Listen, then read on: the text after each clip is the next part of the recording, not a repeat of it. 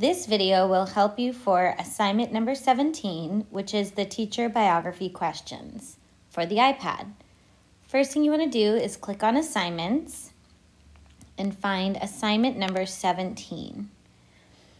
It explains the assignment. Find your teacher's email address below. So you would scroll down and here are all the teacher and staff's email addresses.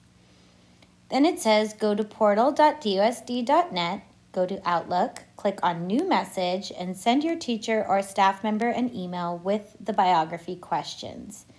The big important thing is you need to copy me on the email. So you're going to click where it says here, and this is going to open a copy of the biography questions. So you can click on Make a Copy.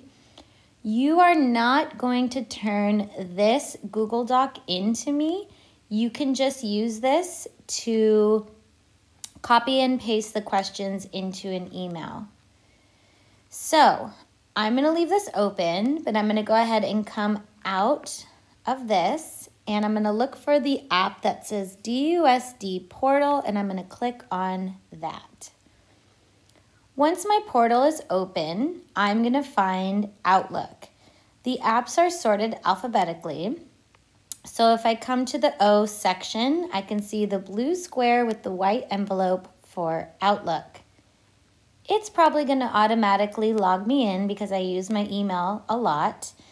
But you would use, uh, type in your student email address and the password that you use for everything to um, log into your Outlook. So then you would click on New Message, and on the right side of the screen, you can see that a new email opens. I'm going to click on the pop out to pop my email out. Now, depending on um, whichever teacher you are interviewing, again, all the email addresses are listed below. I'm going to pretend that I'm emailing Mrs. Pyle. Me. So you could start typing in their email and their email should pop up. Now this is the really important thing. You also need to copy me on the email where it says CC, you need to send me a copy of the email.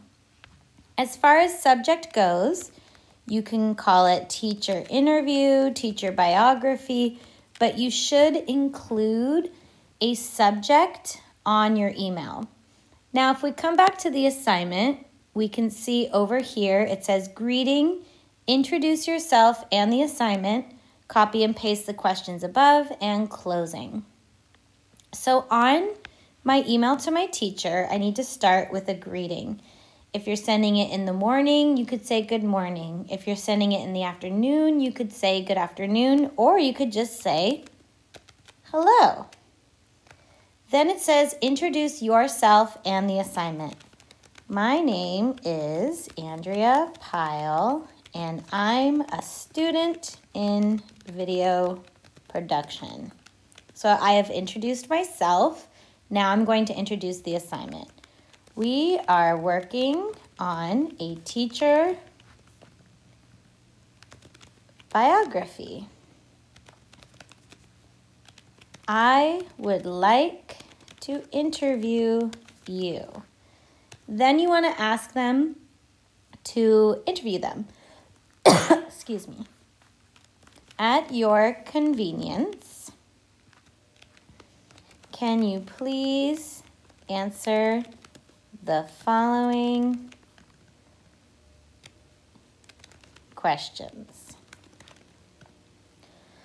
Excuse me. Then what you need to do is copy and paste the questions from that Google Doc. Here's the Google Doc. I'm going to drop my finger down and I'm going to drag these two blue dots so that it highlights just the questions section. Sometimes it takes a couple tries. There we go. Then I'm going to come up to edit and I'm going to copy I'm going to go back to my email.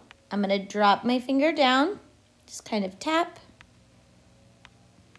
Takes a couple tries. There we go. Oh. There we go. I'm going to paste, and now my questions are pasted into the email.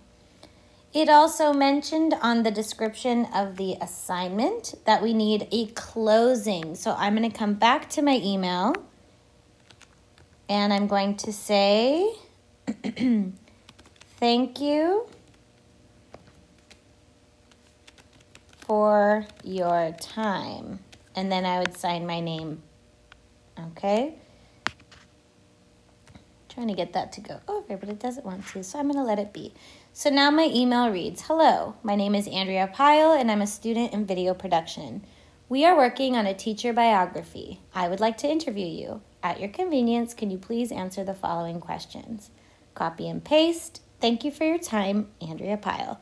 Then at the bottom, and again, make sure you have me under the CC, you would hit send. And that's how you're going to get your points for this week's assignment. You are actually not going to upload anything on Canvas. You will just send the email, and as you can see here, I will get a copy on, of it.